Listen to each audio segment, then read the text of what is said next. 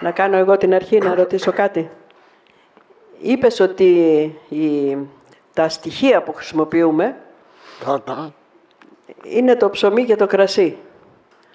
Ως βασικά σημεία, ως στοιχεία της τροφής του ανθρώπου και επειδή ο Χριστός τα χρησιμοποίησε. Τι γίνεται που σε άλλες χώρες δεν υπάρχουν. Δεν υπάρχει στάρι, ας πούμε. Δεν υπάρχει. Στάρι, σιτάρι. Δεν υπάρχει ούτε κρασί. Ναι. Εγώ θυμάμαι τώρα να μην αναφέρω ποιος. Μας βαφτίζουν το ρύζι στάρι. Το ρύζι, ναι. Τέλος πάντων, θυμάμαι κάποιον στο πανεπιστήμιο που μας είπε μια φορά ότι αν δεν υπάρχουν αυτά τα στοιχεία και με λαρδί μπορεί να κάνουμε τη Θεία Ευχαριστία. Ποια είναι η άποψή σου επ' αυτού, Ε, γενικώς; Ο, ο Θεός δημιούργησε λογικά όντα. Αν είσαι κοντά στο μικρόφωνο. Ο Θεός δημιούργησε λογικά όντα. Λογικά όντα σημαίνει ότι έχουμε σκέψη και μπορούμε να ξεπεράσουμε τυχόν περιστασιακές δυσκολίες. Ε, έχοντας επικεντρωμένο το νου μας στη σχέση μας με το πρόσωπο του Χριστού. Δεν είναι προβλήματα αυτά, πραγματικά δεν είναι. Ως ερώτημα, όχι ως πρόβλημα. Γίνεται; Ε, γίνεται. Γίνεται. Είπατε ότι ε, κάθε ατομική προσευχή, αν κατάλαβα καλά, μας προετοιμάζει για τη Θεία Λειτουργία. Ναι. Αυτό η αλήθεια είναι ότι εμένα με συγκλώνησε, δεν το, έχω- δεν το είχα σκεφτεί ποτέ, δεν το είχα ακούσει. Ήθελα να σας ρωτήσω, αυτό ισχύει για κάθε προσευχή ή για την Κυριακή προσευχή; Θα τολμούσα να πω για κάθε προσευχή. Όλος ο ασκητικός βίος του ανθρώπου, όταν λέμε ασκητικός βίος, εννοούμε μια διαβι... έναν διαβίου προσανατολισμό του ανθρώπου να ξεπεράσει τις ροπές της φύσης του. Να ξεπεράσει δηλαδή αυτό που ονομάζουμε φυσικό θέλημα, ατομικό θέλημα και να φτάσει να εναρμονίσει το θέλημά του όσο είναι δυνατόν με το θέλημα του Θεού. Έτσι. Αυτό είναι. ο- Αυτό είναι. Γι' αυτό και μιλάμε για μια, ορθοδο... για μια θρησκεία, η Ορθοδοξία λέμε, ε, λέμε ότι έχει ασκητικό χαρακτήρα. Αυτό εννοούμε. Ότι υπάρχει μια διαβίου άσκηση. Ποτέ δεν μπορώ να επαναπαυθώ στις, ε, στις αρετές μου, να το πω έτσι, ή στην υπακοή μου. Ποτέ, ποτέ δεν μπορώ να επαναπαυθώ συνεχώς. Αλλά όλα αυτά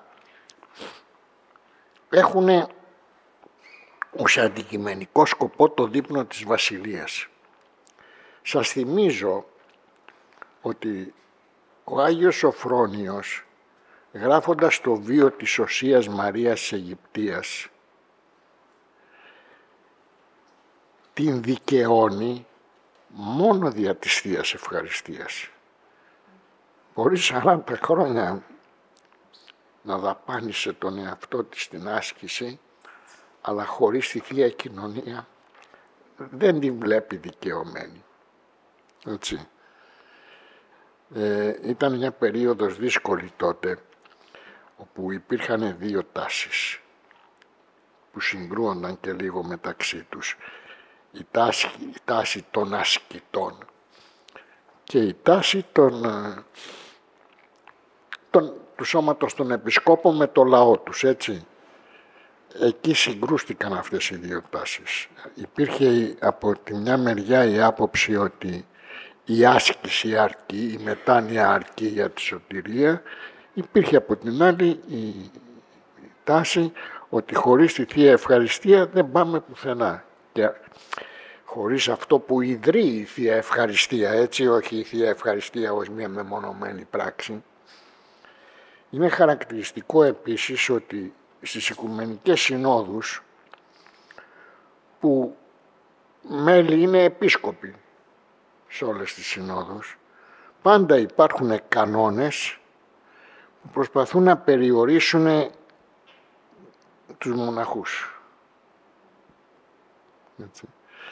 Τη σύνθεση, της, τη σύνθεση την έκανε τον 7ο αιώνα ο Άγιος Μάξιμος ο Ομολογητής. Δεν ίσχυσε, ίσως και δεν ισχύει πάντοτε, αλλά η σύνθεση υπάρχει. Ότι η άσκηση μόνο με κοινωνία με τον Χριστό μπορεί να έχει νόημα και αποτέλεσμα. Είπατε για την ε, προσευχή της μεταλήψεως, την ακολουθία της μεταλήψεως ότι τη διαβάζει ο ιερέας. Μπορεί να τη διαβάσει και ένας πιστός κατά τη διάρκεια πήγα της να το Λειτουργίας. πω και αυτό, πήγα να το πω, αλλά λέω άντε δεν πειράζει. Έχω παρατηρήσει τη Θεία Λειτουργία μερικούς αδελφούς ευσεβείς ανοίγουν το βιβλιαράκι τους ανοίγουν το βιβλιαράκι τους και διαβάζουν την ακολουθία της μετανοίας διότι πρόκειται να μεταλάβουν κατά την ώρα του κοινωνικού έτσι. Δεν ξέρω. Δεν, ε,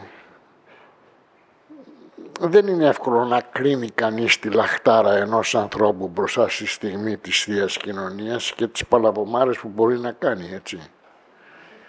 Ε, αλλά είναι, παγι, είναι παγίδες αυτές. Ε,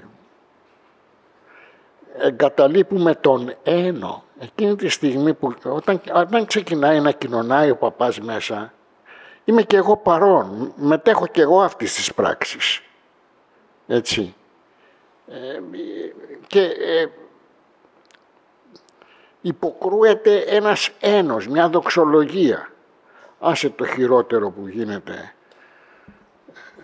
να βγαίνει και να κάνει κήρυγμα ο παπάς και να, να διακόπτει έτσι με βίαιο τρόπο αυτή τη μυσταγωγία. Ναι, είναι μερικά πράγματα που ούτε καλό είναι, ούτε κακό είναι. Είναι πέραν αυτών των ε, διακρίσεων. Και επίσης θέλω, δεν το ίσως δεν το ξεκαθάρισα. Όταν είμαι στη Θεία Λειτουργία δεν είμαι μόνο για τον εαυτό μου. Δεν είμαι μόνο για αυτούς που είναι επίσης στη Θεία Λειτουργία. Είμαι και για αυτούς που δεν είναι. Είναι και για αυτούς που δεν ξέρουν ότι υπάρχει καν Θεία Λειτουργία. Η μικρή μου η κόρη δεν εκκλησιάζεται συχνά. Και μια μέρα μου είπε τη στεναχώρια της που δεν μπορεί, αυτή το θεωρεί για πρακτικούς λόγους, τέλος πάντων δεν είναι θέμα, στεναχωριέται και λέω μη στεναχωριέσαι, πάω εγώ για σένα. Αυτό το πάω, το πάω εγώ για σένα το ξεχνάμε. Ξεχνάμε ότι την ώρα που μεταλαβαίνει ένας αδελφός μου χριστιανός, δεν τον ξέρω, ούτε πώς τον λένε, ούτε τον ενδεχομένως να έχω ξανασυναντήσει. Την ώρα που μεταλαβαίνει, χαίρομαι. Δηλαδή, το λέω συμβολικά, μετέχω. Έτσι. Αλλιώς, τι στο καλό σώμα Χριστού είμαστε. Ο Παύλος δίνει μια εικόνα στην προσκορινθίους, ε, παρομοιάζοντας το σώμα Χριστού με το ανθρώπινο σώμα. Χέρι, πόδι, μυαλό, μάτι, αυτή, όλα αυτά. Το με... Αλλά όλα αυτά είναι ένα. Όταν λέμε σώμα Χριστού, στην αντίληψη των Αποστόλων, αυτό ήταν το ένα. Το ένα. Ε, λίγο το ξεχνάμε. Βέβαια μας παρασύρει η φύση μας, η οποία φύση χρειάζεται την ατομικότητά της. Αυτό το, αυτό το εγώ του ανθρώπου. Είπατε σε ένα σημείο που εγώ το εξέλαβα ως εξής, ότι η θεολογία κάπου και η φιλοσοφία ταυτίζονται. Και εξηγώ ότι ο άνθρωπος τελικά μέσα σε όλη αυτή τη διαδικασία δεν πάει να βελτιώσει το χαρακτήρα του, να γίνει καλύτερος, ξέρω εγώ και όλα αυτά, τα ελαττώματά του να τα περισσώσει ή να τα εξαφανίσει, αλλά να θεραπεύσει, ε, ίσως με τον όρο αυτό το ρήμα να υπηρετήσει την, ε, την ψυχή του. Και ε, εκεί μπαίνει και το οντολογικό, το υπαρξιακό πρόβλημα. Λίγο περισσότερο θα ήθελα. Η διαφορά της φιλοσοφίας από τη θεολογία είναι ότι η φιλοσοφία αναζητάει το Θεό και βγάζει και τα συμπεράσματά της μέσω του ανθρώπινου στοχασμού. Η θεολογία αναζητάει τον τρόπο με τον οποίο θα σχετιστεί με το Θεό. Είναι δύο διαφορετικά πράγματα. Ναι, ε, είπα στην αρχή εκτός ομιλίας για τη σημερινή Κυριακή στον κανόνα που είναι του Αγίου Ιωάννου του Δαμασκηνού νομίζω στην 7η οδή χαρακτηρίζεται η, η απιστία του Θωμά ως καλή απιστία. Ο καλή απιστία. Έτσι. Ποια είναι η απιστία του Θωμά;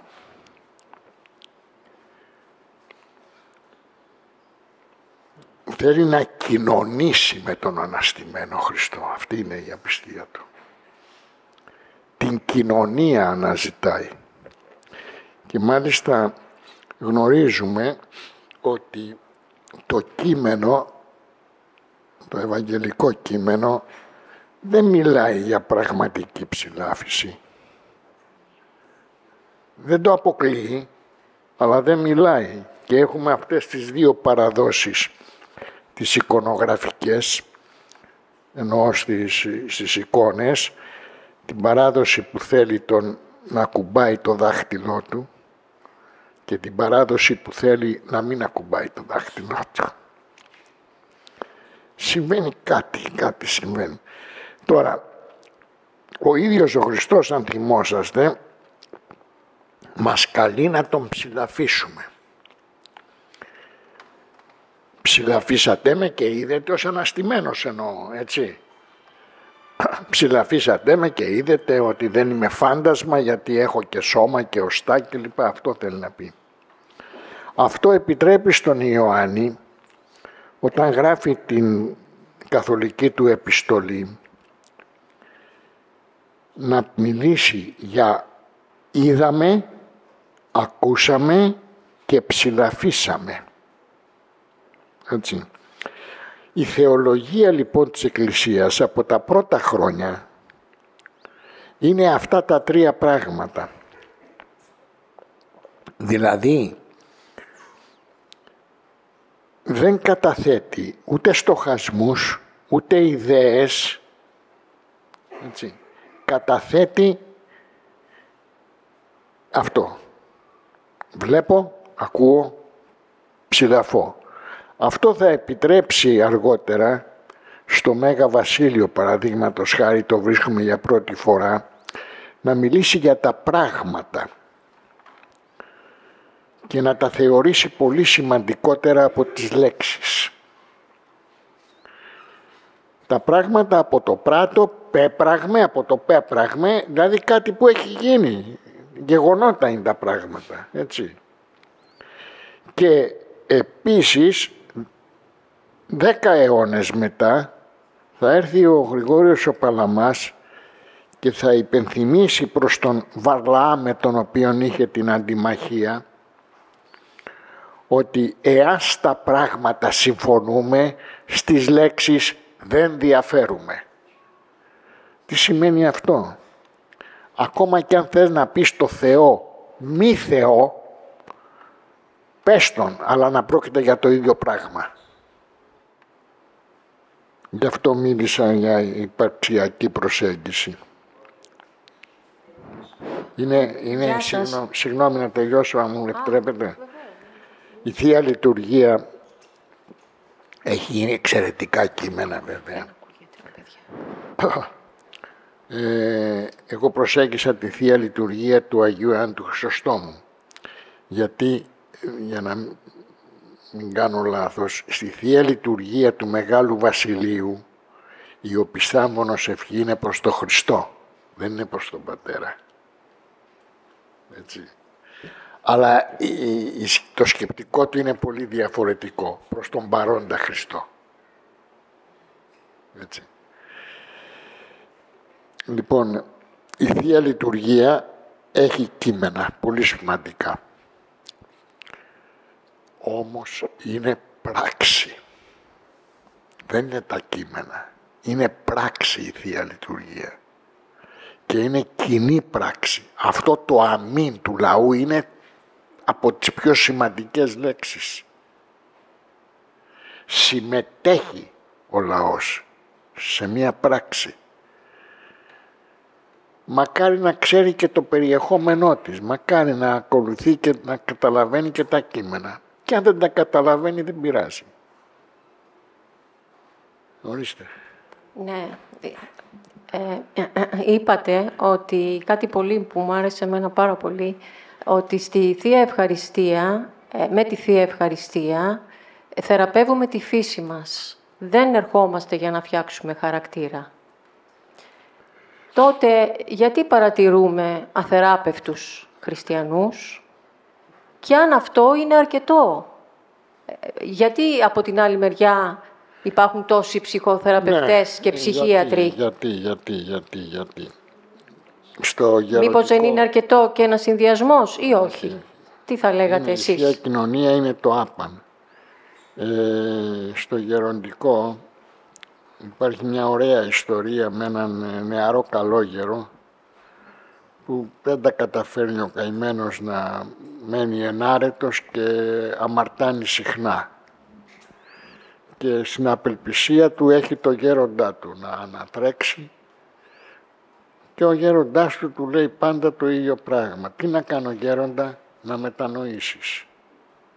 Οπότε τίθεται το ερώτημα μέχρι πότε θα συμβαίνει αυτό; Μέχρι να βρεθείς εν τη πτώση ή εν τη αναστάση είναι η απάντηση.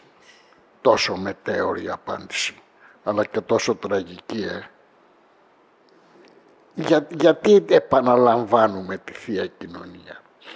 Όπως ξέρετε το 18ο αιώνα υπήρξε ένα κίνημα ε, για τη συχνή Θεία Κοινωνία από τους λεγόμενους κολυβάδες. Έχει γράψει και ένα βιβλίο ο Άγιος Νικόδημος. Γιατί, γιατί κάθε Κυριακή καλούμε να πάω να μεταλάβω; γιατί κάθε Κυριακή ζω έναν έρωτα.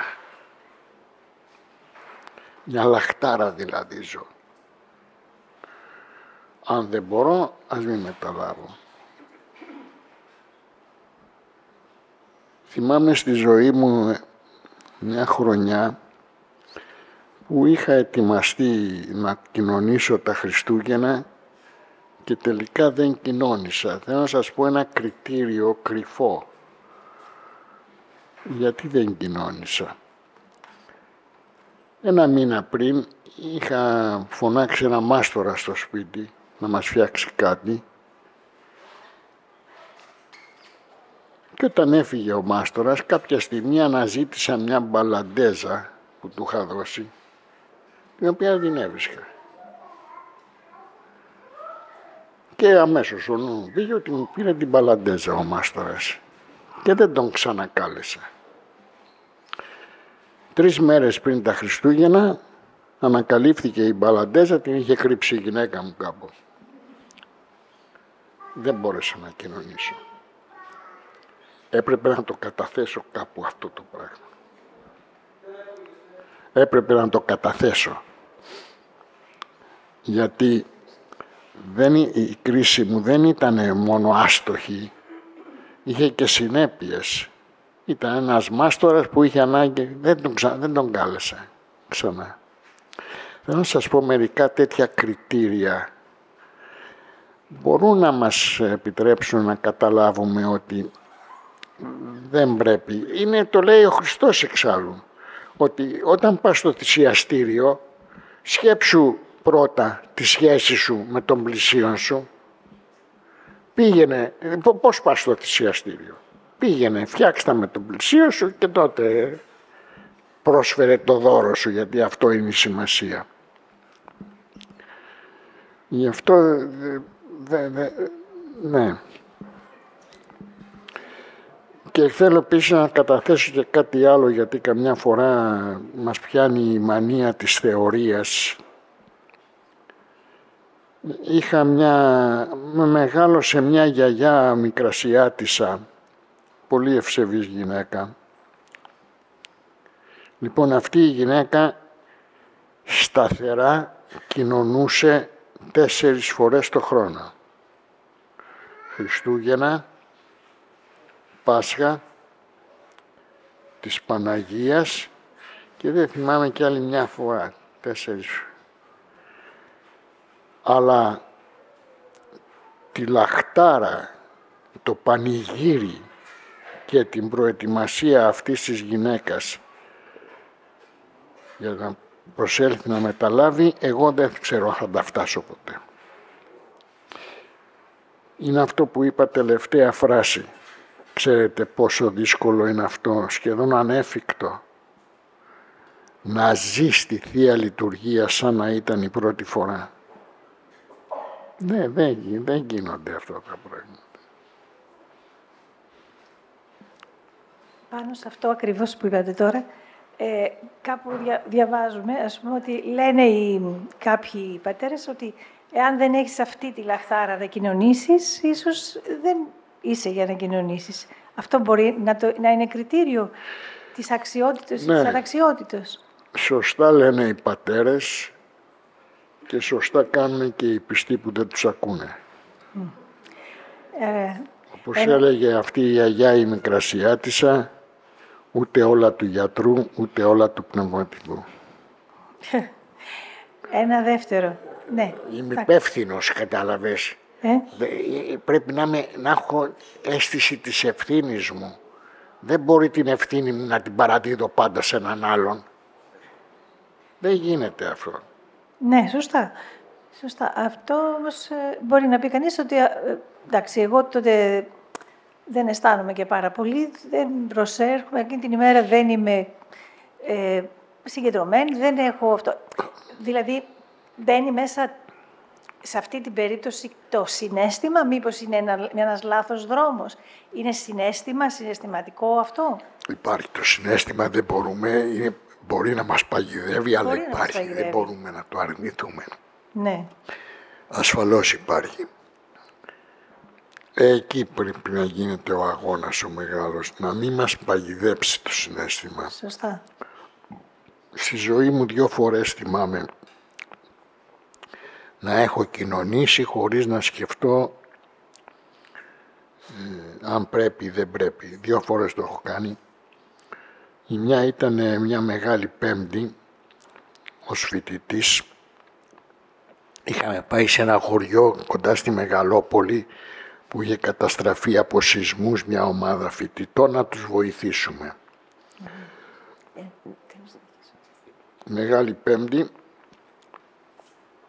η εκκλησία ήταν γκρεμισμένη σε ένα στρατιωτικό αντίσκηνο μεγάλο. Έκανε τη λειτουργία ο παπάς. Δεν ξέρω τι μου συνέβη. Θα κοινωνούσα την Κυριακή όταν θα γύριζα στο σπίτι. Πήγα και κοινώνησα. Και μάλιστα τότε ήμουνα και εγώ παγιδευμένος στις ευσέβειες και ήταν πολύ τολμηρό αυτό που έκανα. Και μάλιστα δεν είχε νάμα ο παπάς και έκανε τη Θεία Κοινωνία με ρετσίνα. Η δεύτερη φορά είναι εδώ στο Μετόχι, μια Κυριακή, καθόμουν στο αριστερό ψαλτήρι και πλησιάζει πρώτο ένα μικρό κοριτσάκι γεμάτο χαρά να κοινωνήσει και μόλις κοινώνησε γυρνάει και με καλεί να πάω να κοινωνήσω κι εγώ. Χωρίς να το καταλάβω, πήγα και κοινώνησα. Ναι. Να ρωτήσω κάτι άλλο. Ναι. Ε, αν τελειώσατε. Ε, με, ναι, συγγνώμη.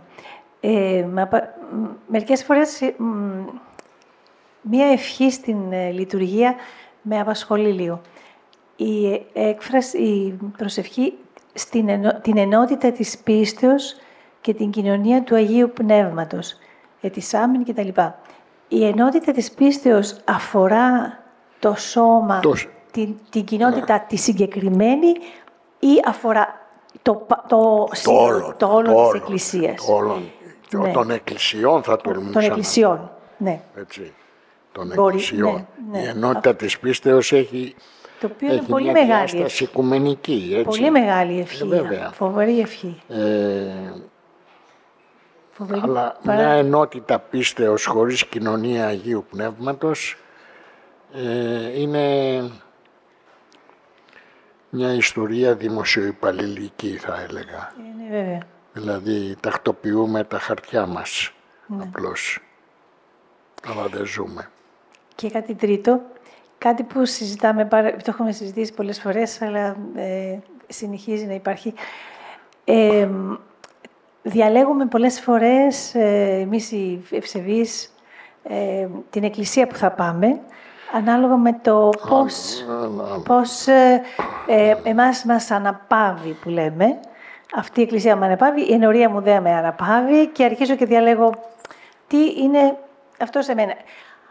Είναι λίγο ε, αναγκαίο αυτό, με- σε μερικούς ανθρώπους μπορεί να είναι αναγκαίο. Κοιτάξτε, Αλλά, ε, ε, είναι- και επίσης σε, σε, σε, συνα- σε σχέση πάντα, ε, πολλές φορές, με το πώς γίνεται η λειτουργία από τον ιερέα και σε σχέση με το αν στην λειτουργία ακούγονται όλες οι ευχές. Αυτό το κριτήριο, το άλλο κριτήριο.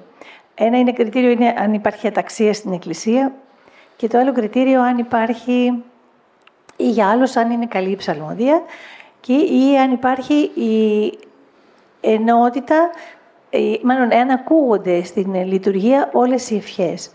Και μερικές φορές μας φαίνεται αυτό ότι είναι πολύ βασικό. Εμένα προσωπικά μου φάνηκε πως ήταν πρώτη φορά που το ανακάλυψα αυτό, ότι ήταν πάρα πολύ βασικό, γιατί αισθάνθηκα για πρώτη φορά ότι η λειτουργία δεν είναι μόνο για τον ιερέα, αλλά η λειτουργία αφορά όλους μας. Ακούγοντας τις ευχές, νόμιζα ότι βρίσκομαι σε άλλη λειτουργία. Πως δεν την ήξερα τη λειτουργία. Ενώ πήγαινα από μικρό παιδί, νομίζω ότι εγώ δεν ήξερα τίποτα για τη λειτουργία. Και αυτό μου έκανε προφανώς μια, ας πούμε, μου έδωσε το κίνητρο να θέλω να πάω σε μια εκκλησία που ακούγονται ευχές. Αυτές. Μου ήταν απαραίτητο, δηλαδή ως όντως λογικού, ξέρω εγώ, όντως ε, που ο λόγος παίζει ρόλο, μέσα στην εκκλησία θεώρησα ότι ο, ρόλο, ο, ρόλος, ο λόγος παίζει σο- σημαντικό ρόλο και αν δεν ακούς το λόγο, τότε δεν, δεν είσαι, σαν να μην είσαι στην λειτουργία, να, συμμε- να μην συμμετέχεις. Αυτό είναι λάθος, είναι, είναι... είναι τα, από τα μεγάλα αγκάθια. Δεν άκουσα. Είναι από τα μεγάλα αγκάθια στο θέμα της πίστης μας και της συμπεριφοράς μας. Βέβαια αυτά τα προβλήματα δεν υπάρχουν στις ε, μικρές, ε, στα χωριά, έτσι. Είναι φαινόμενο της αστικοποίησης της ζωής των. Στις μεγάλες πόλεις άρχισε, συμβαίνει αυτό το πράγμα. Δύο θέματα θέλω να θίξω. Το ένα είναι να αποφεύγουμε αυτό το, όπως το λέει ε, χαριτωμένα μια φίλη μου, το churching. Να το αποφεύγουμε. Δεν είναι πάντα εύκολο να το αποφεύγεις. Δεν εννοώ να, τις, α- τις αναγκαίες περιπτώσεις που έχει το μνημόσυνο για μια θεία μου και θα πάω σε άλλη εκκλησία. Δεν εννοώ αυτό το πράγμα, έτσι. Εννοώ να συνδεθώ με, με τα μέλη ενός σώματος. Θα ήταν προτιμότερο να βρω ένα ναό που με αναπαύει και εκεί να μείνω.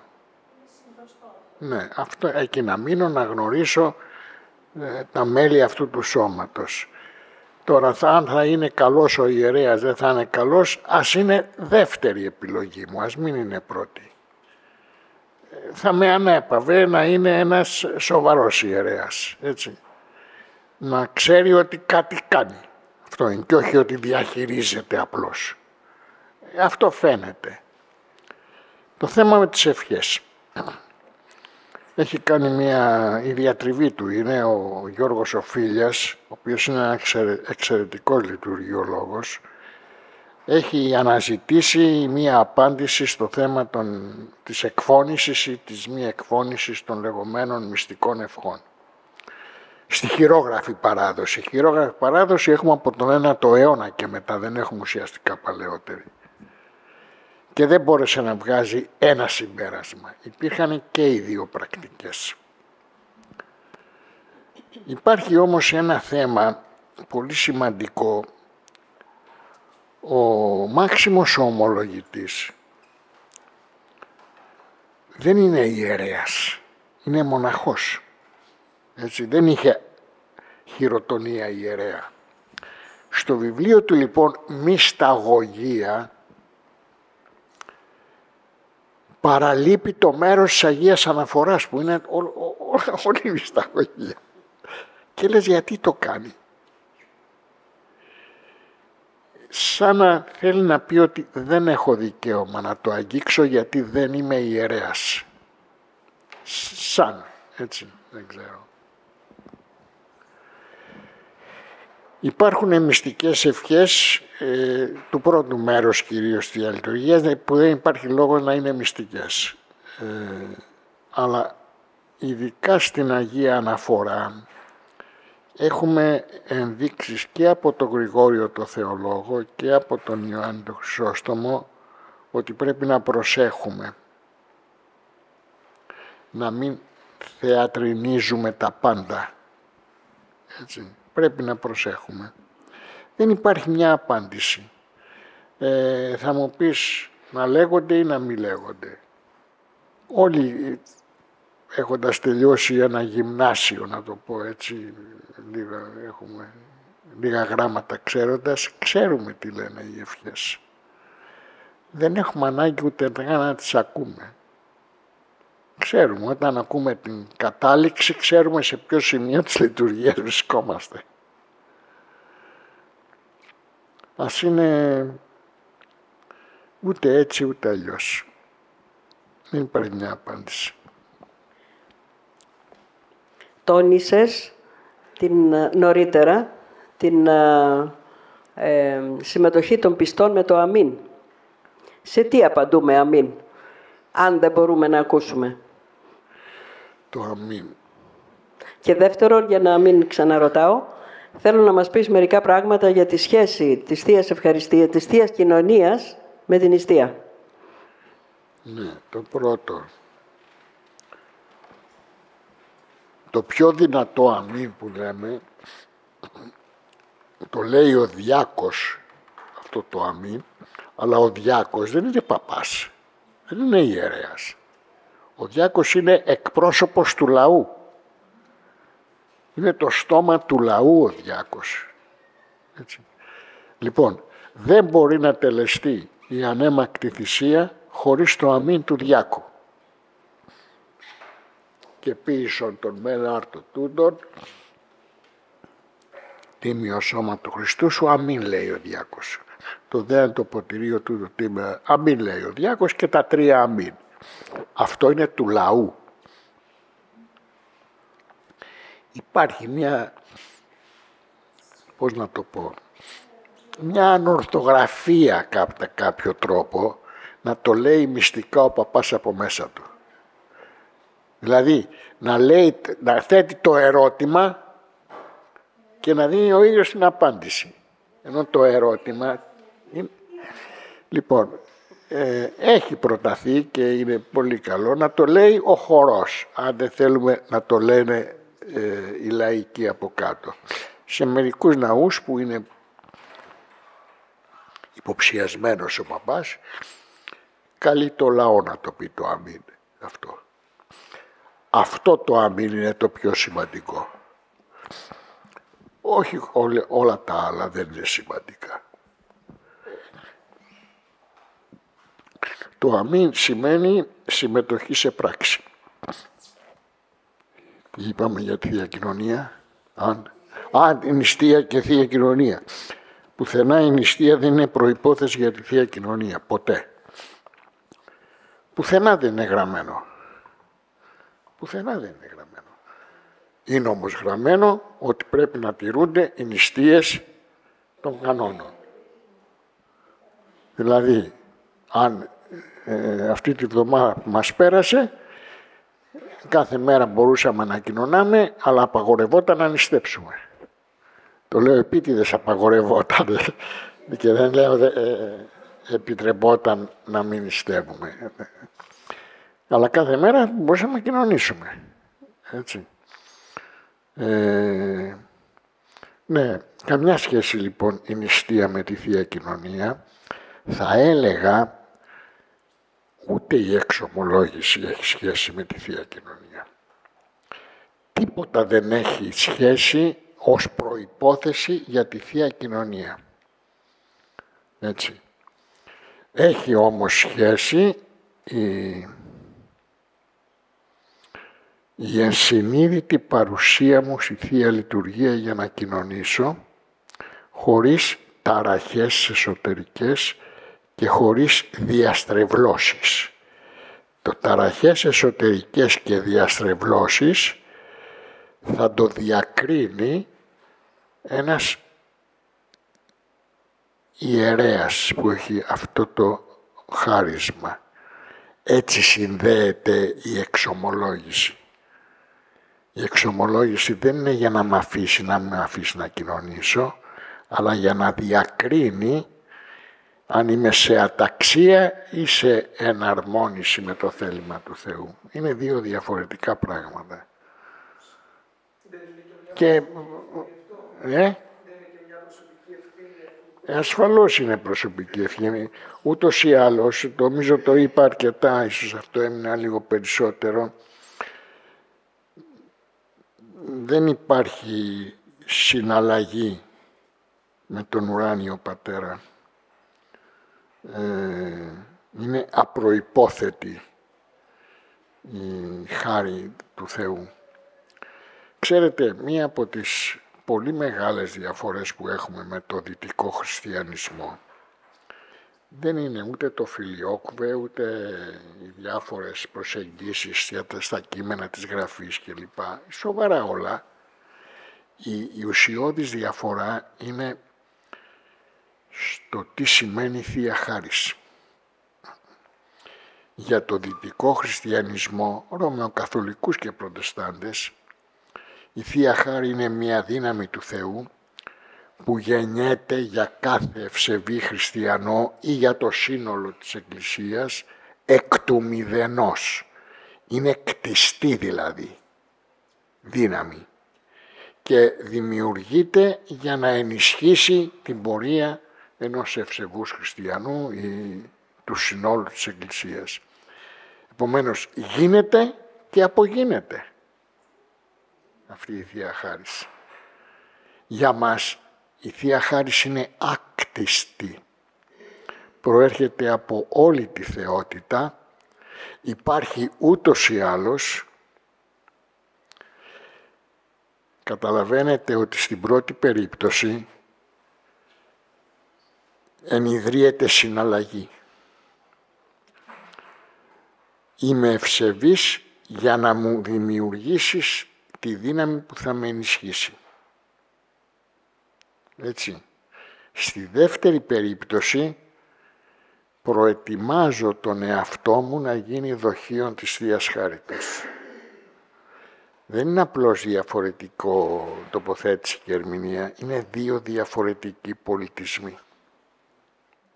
Μπορώ να μιλήσω; Παρακαλώ.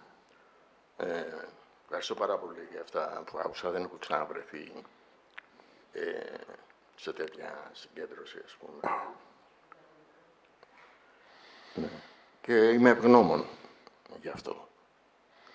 Ε, στην αρχή έτσι πώς να το πω τώρα, ε, άκουσα, εγώ δεν είμαι μοιημένος σε όλα αυτά που είπατε, γιατί ήταν πιο πολύ για μοιημένους, έτσι όπως τα άκουσα στην αρχή. Ε, εντάξει, και εγώ είμαι χριστιανός, αλλά δεν είχα ποτέ το χρόνο να μπω πιο μέσα σε όλα αυτά που άκουσα και πρέπει να πω και εγώ την αίσθηση που είχα τώρα με όλα αυτά, ας πούμε, που φυσικά δεν τα έχω ξανακούσει. Και εγώ πιο πολύ τώρα θα έλεγα όσο αφορά με την πίστη. Ας πούμε, πώς μπορεί κάποιος, γιατί για να είμαι ανοιχτός εγώ τώρα να μπω πιο μέσα, γιατί με ενδιαφέρει το πνευματικό κομμάτι, ας πούμε, του χριστιανισμού, γιατί είμαι χριστιανός, αλλά δεν ήξερα τόσα πολλά πράγματα ούτε είχα ασχοληθεί.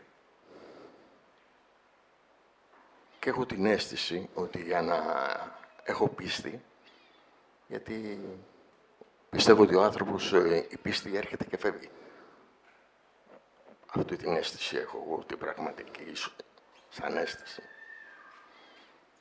Και ότι για να έχω πίστη πρέπει να είμαι πιο συχνός και να έχω πιο καλή επαφή με το πνευματικό μου κομμάτι όπως το ζήτησε και η κυρία που μίλησε εκεί πέρα πριν. Και δηλαδή ε, έχω πάει και εγώ σε λειτουργίες, αλλά ποτέ δεν είχα φοβόμουν ή δεν είχα ε, να, να μπω πιο μέσα και να ρωτήσω ορισμένα πράγματα τα οποία, δεν, ε, ε τα οποία με αποσχολούσαν. Γιατί για να μεταβάλω, υποτίθεται, μεταλάβω, πρέπει να πώς το λένε, να μιλήσω για μένα, για τα προβλήματά μου. Πού μπορώ εγώ, ας πούμε, ποιον μπορώ να πλησιάσω για όλο αυτό, γιατί κατάλαβα ότι εδώ είναι για πιο μοιημένος από μένα. Ε, δηλαδή να μιλήσω για μένα και να πάρω κάποια πνευματική βοήθεια, η οποία, ας πούμε, ξέρεις, γιατί μπορεί από ευσέβεια να πω ότι ε, αισθάνομαι τον πάτερ εδώ ή τον κάθε πάτερ που κάνει τη λειτουργία, αλλά όμως έχω κι εγώ ένα κομμάτι το οποίο πρέπει να συγγενεύει με το, πνεύμα, με το πνευματικό μου κομμάτι, το πώς αισθάνομαι, γιατί πρέπει να, είμαι, να έχω ορισμένα θέματα λιμένα πιο καλά για να μπει μέσα μου ο Θεός. Πού εγώ θα, ας πούμε, θα, θα απευθυνθώ ώστε να πάρω πιο πολύ βοήθεια πάνω σε αυτό που είπα. Αν το πιστεύω ναι, καταλαβαίνετε. Δεν υπάρχει μία μονοσήμαντη απάντηση όπως καταλαβαίνετε. Στο γεροντικό ένας καλόγερος, ένας ασκητής, αυτά τα ερωτήματα έθετε. Και κάποια στιγμή πάει σε έναν σπουδαίο γέροντα να του πει πού θα τα μάθω αυτά; Και το απαντάει ο σπουδαίος γέροντας κλείσου στο κελί σου και το κελί σου θα στα μάθει όλα. Που σημαίνει, που σημαίνει όλα αυτά τα ερωτήματα που θέσατε, έμεσα ή άμεσα ερωτήματα, είναι ο εαυτός σας ο εαυτός σας θα σας διδάξει. Εάν ο εαυτός θέσει το ερώτημα, ο εαυτός είναι και σε θέση να καθοδηγήσει. Δεν υπάρχει μια μονοσήμαντη απάντηση. Ε, εντάξει, μας βοηθάνε πολλές φορές κάποια βιβλία. Δεν μπορούμε να το αρνηθούμε αυτό το πράγμα αλλά κυρίως μας βοηθάει σε αυτή την αναζήτηση η ομορφιά. Η, η ομορφιά, αυτό που λέει ο Ντοστογεύσκη, η ομορφιά θα σώσει τον κόσμο, σημαίνει ότι την ομορφιά αναζητώ και η φύση μου έχει τα κριτήρια να την αναγνωρίσει. Δεν, δεν, δεν βρίσκω άλλη απάντηση να δώσω. Νομίζω ότι έχουμε... Ναι. Το Θεό δηλαδή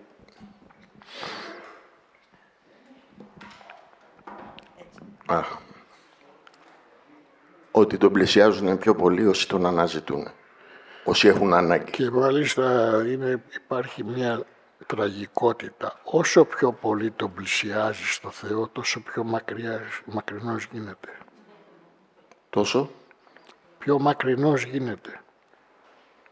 Όσο τον πλησιάζεις, τι θα πει αυτό, θα πει όσο τον πλησιάζεις, αρχίζεις να κατανοείς τι σημαίνει η παρουσία του.